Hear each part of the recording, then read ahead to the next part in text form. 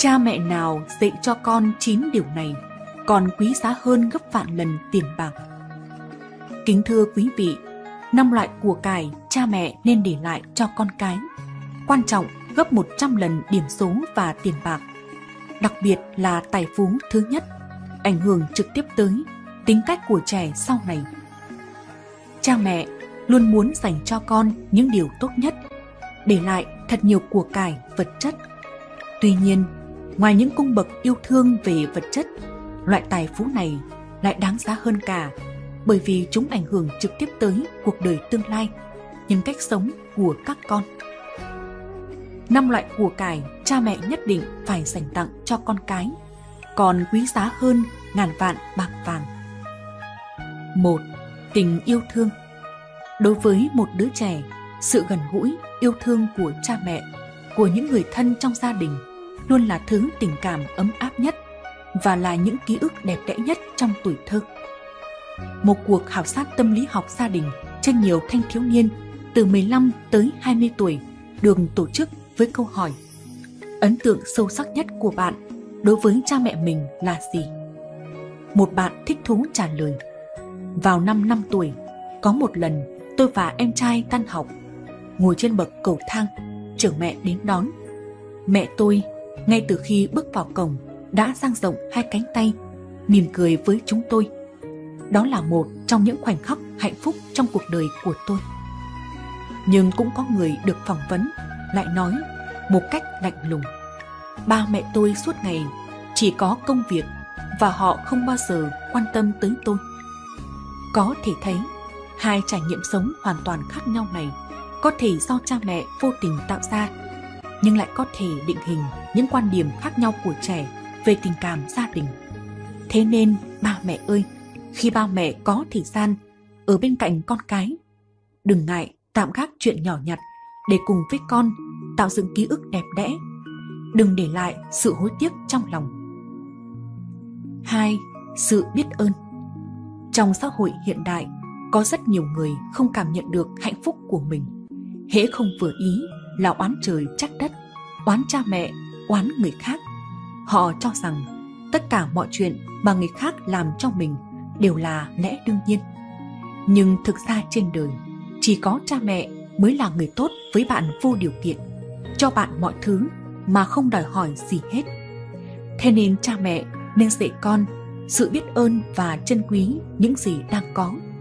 Chỉ có như vậy, đứa trẻ mới không trở nên ích kỷ, tư lợi và biết hài lòng với cuộc sống của mình. 3. Gần gũi với thiên nhiên. Nhiều bậc cha mẹ, bởi vì lo lắng con mình bị thương, bởi vậy nên luôn kiểm soát, bắt chúng ở trong nhà. Tuy nhiên, đây là quan niệm người dạy sai lầm, bởi vì thiên nhiên chính là môi trường giáo dục tốt nhất. Thiên nhiên là sân vận động tự nhiên của các trẻ nhỏ, không chỉ có thể mở mang tầm nhìn của trẻ còn có thể bồi dưỡng tâm lý tò mò của con nảy sinh lòng thương xót của con đối với sinh mạng của thực vật và động vật ngoài ra còn giúp con có được trạng thái học tập tốt hơn nếu bạn để ý sẽ thấy những đứa trẻ chán học rất có thể là lúc nhỏ được chơi đùa rất ít 4. Thích đọc sách Đọc sách là một thói quen vô cùng tốt, giúp tăng thêm kiến thức, nuôi dưỡng tâm hồn.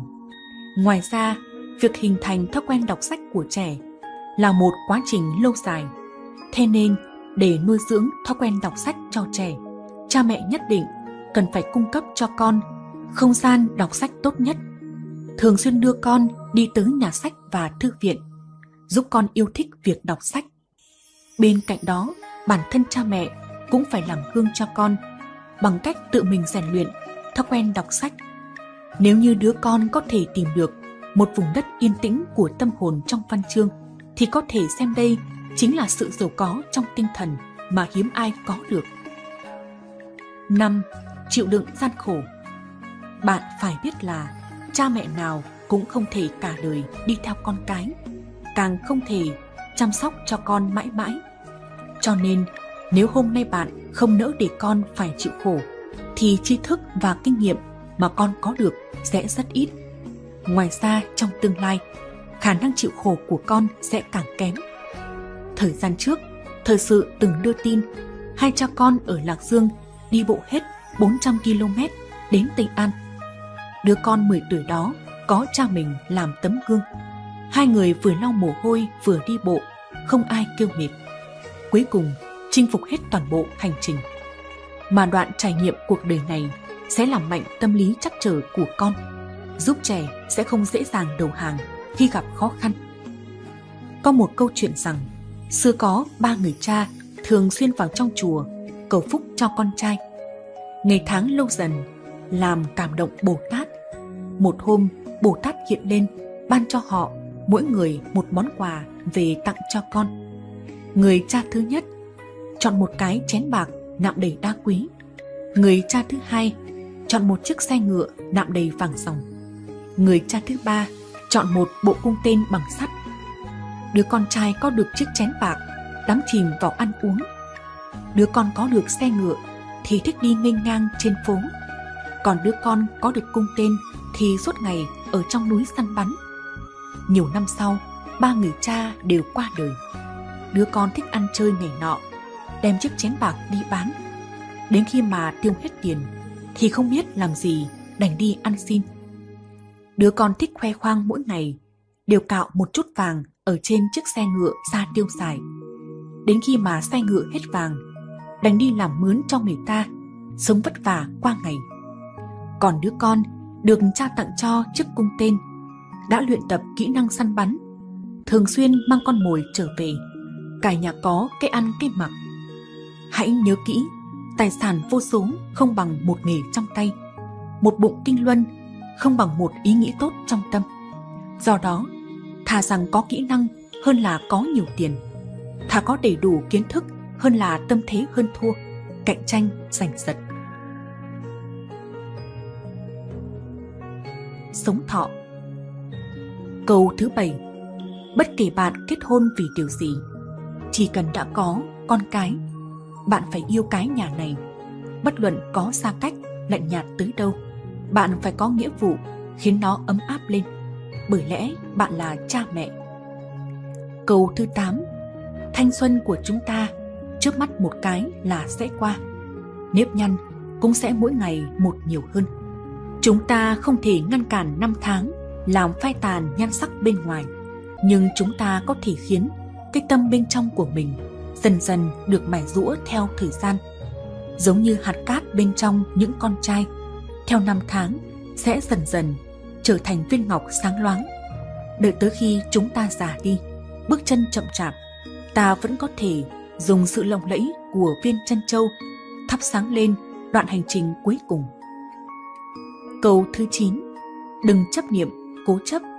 Đời người có rất nhiều điều không như ý. Thế giới không phải lúc nào cũng chào đón bạn. Trái đất cũng không phải vì bạn mà quay. Vì vậy, đừng quá cố chấp muốn có được thứ gì đó ngay cả bản thân chúng ta cũng chỉ là người qua đường trong cõi hồng trần đến với thế giới này bằng hai bàn tay không vậy ra đi rồi còn có thể đem theo cái gì